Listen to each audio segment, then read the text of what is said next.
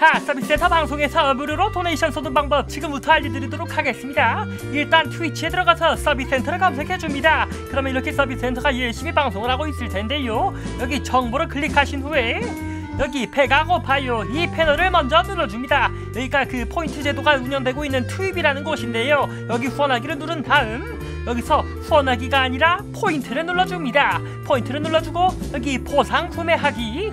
맨 위에 있는 무료 도네이션을 눌러줍니다. 그리고 제발 여기도 제가 써놨지만 여기다가는 아무것도 쓰면 안 돼요. 뭐 써도 되지만 제가 읽을 수는 없답니다. 그래서 일단 구매하기를 누른 후 바로 그 다음에 나오는 이 보상을 달아가면서 멋지게 한마디. 여기다가 응예 나 무료 도네. 이런 식으로 자랑하기를 눌러주시면은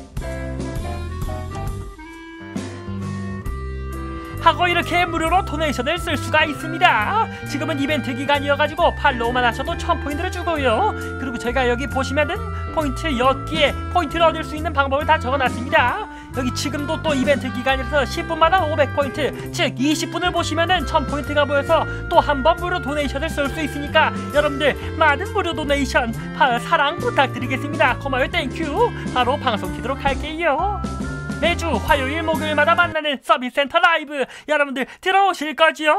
음흠.